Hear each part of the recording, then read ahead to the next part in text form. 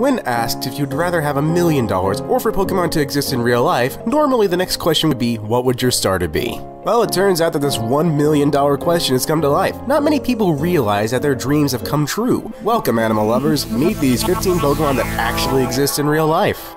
Number 15, Pikachu. Let's start with everyone who doesn't play Pokemon's favorite Pokemon, Pikachu. A couple years ago in Kenya, it was believed that a real-life Pikachu was found. This little rodent was identical to the Pokemon, even had electrical powers. However, it was soon found out to be fake, for our entertainment alone, but what people don't know is that the Pokemon is based off of this guy. Not an interesting little mouse, although the Pika is the inspiration. Although sadly, we all much prefer photoshopped images. Number 14, Drowzee. Drowsy, the psychic type Pokemon who puts people to sleep with hypnosis. Turns out, this sleepy guy is based off of the tapir. The real tapir is similar to a pig with a trunk and round ears. Although there are many types of tapir, Drowzee is very similar in shape and color pattern to the Malayan tapir. For those of you who want a Drowzee of your own, think again. All species of tapir are now endangered. That's a really sad fact, but I think we all know who's really behind that. Curse you, Team Rocket! Number 13, Magikarp. The most useless Pokemon in the game, whose only purpose is to evolve, can be found in the East Pacific and is known in our world as the Yellow Eye Rockfish. In real life, he's just an ordinary fish who, despite many attempts, does not evolve into Gyarados, but he can splash and he can struggle. You go, little guy. I believe in you. Number 12, Poliwag. This cute little fan favorite gets its inspiration from the translucent tadpole. Most Pokemon fans already know this, or quickly find out after examining the water baby, but what you don't picture is that the real-life Poliwag is so tiny and much more slippery than you'd expect from this cuddly looking fellow. Both of these facts take away from his former appeal, however.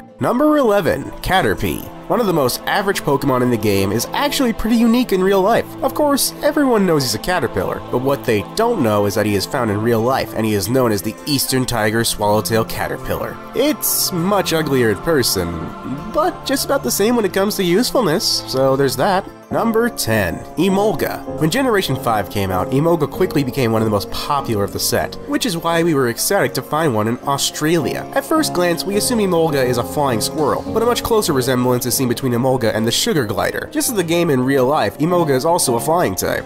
Number 9, Victreebel. Victory Victreebel is a fascinating Pokemon, and truth is, she's just as awesome in real life. Say hello to Nepenthes, or tropical pitcher plants for those who prefer a friendlier term. The plant traps flies and contains a syrupy liquid used to drown its prey. Now that is awesome, and you also shouldn't worry. Unlike James from Pokemon, it probably won't try to bite your head off. Number 8, Luvdisc. This water-type heart-shaped fish can be found in fish tanks around the globe, and is often called the kissing gourami. Both are pink and love the water. The shape of the Pokemon and the Kissy lisp of the fish both demonstrate a love theme, so Luvdisc lovers can head over to your nearest aquarium and ask the owner if they have any Luvdiscs. Ignore any strange looks you get from the uh, aquarium owners, however. Number 7, Vileplume. This boss grass and poison Pokemon is indeed grass type in real life as well. Feast your eyes on the Rafflesia arnoldi. It isn't poisonous like Vileplume, but it does give off a very vile odor, which is used to attract insects. The bugs then are covered in its pollen. This form of spraying the pollen to other plants make this Vileplume a fantastic pollinator. Number 6. Shellos. Behold,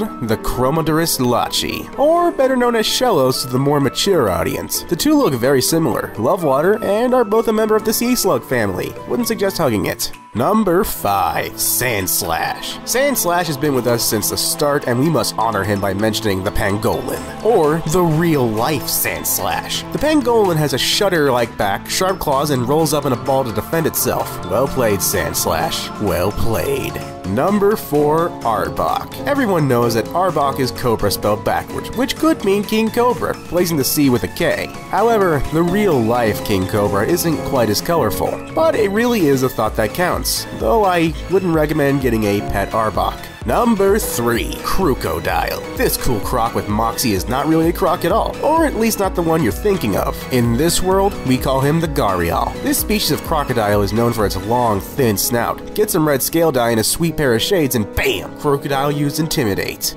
Number 2. Charmander. Sure, Charmander is obviously a salamander like Pokemon, but aren't salamanders water type? Well, not always. There is a species of salamander known as the Fire Salamander. Although many claim that the spotted newt resembles the fire Pokemon more closely, it is the fire-resistant nature and demeanor of the salamander that Charmander is based off of that really brings us closer to having our very own Pokemon in our homes and in nature. Number 1. Mudkip. This cutesy little mudfish lives deep in the ocean and is called axolotl. So named by the so-called scientists over here. Really just add a little color and then good luck convincing me that my little water friend is not right in front of me.